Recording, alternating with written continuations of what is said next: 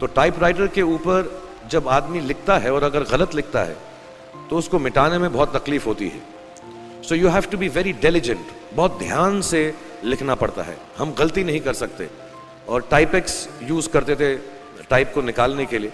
कभी उंगली फंस जाती थी उसकी कीज के बीच में।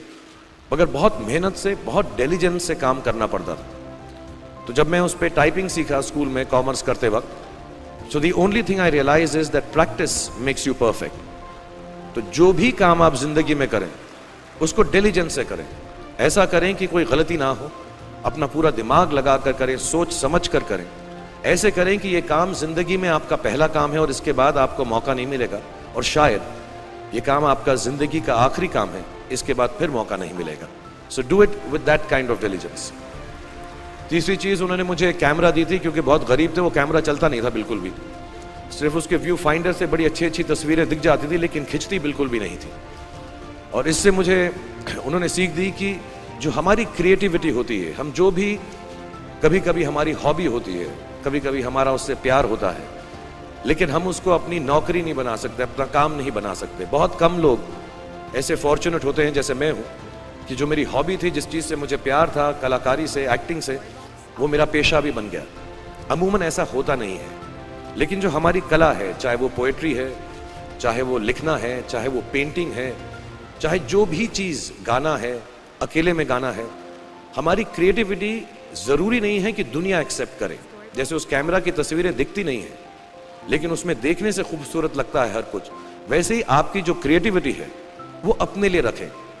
क्योंकि ज़िंदगी में कभी ना कभी, कहीं ना कभी ऐसा मुकाम आएगा जब आप बहुत अकेला फील करेंगे। हो सकता है दुख का समय भी आए। उस वक्त आपकी जो क्रिएटिविटी है, वो आपकी सबसे अच्छी दोस्त होगी। दुनिया उसको माने या ना माने। मैं मैं बहुत खराब पोइट्री करता हूँ, लेकिन जब भी दुखी होता हूँ तो लिख लेता हूँ। शराब साहब से मैं अब सीखना भी चाहता हूँ। मैं रेखता पे जाऊँगा, मुझे लगता है ये कमाल की साइट है। थोड़ी मैं शायरी वगैरह सीखूँगा। मेरी शायरी बहुत ख़राब है कि हमने तुम्हारी याद में रो रो के टब भर दिए वो आए और नहा कर चल दिए। इस इस लेवल की पोइट्री है लेकिन जब दुख होता है ये भी बैठकर जब लिखता हूँ तो बहुत दिल को शांति मिलती है। आखिरी चीज़ मेरे वालिद ने मुझे दी थी वो दोनों मिक्स है मैं जल्दी ख़त्म करता हूँ क्योंकि आप लोगों के पास वक्त नहीं है आप लोगों को अपनी डिग्रीज लेनी है सोच रहे होंगे इतना वक्त ज़ाया कर रहा है हमारा ये। आ, तो मैं जल्दी से बताता हूँ, एक उन्होंने मुझे कहा, एक सेंस ऑफ़ ह्यूमर हमेशा रखना, ज़िंदगी में। हँसते हमेशा रहना, एक चाइल्ड लाइक इनोसेंस ज़रूर रखना। जैसे एक छोटे बच्चे की जो एक इनोसेंस होती है, जो उसका दुनिया की तरफ़ जो नज़रिया होता है, बड़ा इनोसेंट सा होता है। उसमें कोई खामी नहीं होती, गलती नहीं होती, अभी दुनियावी बातें नहीं आई होती तो वैसे ही रखना। कई बार बचपन में मैंने जब बदतमीज़ी की या कोई गलत काम किया तो उन्होंने सेंस ऑफ़ ह्यूमर से मुझे बचाया।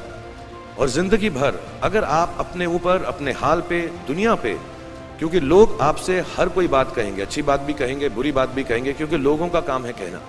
अगर आप उसको एक सेंस ऑफ़ ह्यूमर से देख सकेंगे तो ज़िंदगी जो है बहुत बेहतर रहेगी। And last not the least what my father gave me what my mother gave me and what your parents have given you आपके जो पेरेंट्स हैं, जो आपको दिया है, वो सबसे बड़ी गिफ्ट है गिफ्ट ऑफ़ लाइफ ज़िंदगी की जो ज़िंदगी एक खुद ही सबसे बड़ा तोहफा है हमारी ज़िंदगी। और उसको वैसे ही ट्रीट कीजिए। ज़िंदगी के अंदर जो भी मुकाम आए, जैसी भी चीज़ें हों अच्छा हो, बुरा हो, कभी अंधेरा हो, कभी उजाला हो, हर चीज़ को रिस्पेक्ट कीजिए। और ज़िंदगी में ग्रेस रखिए। हर इंसान की तरफ़।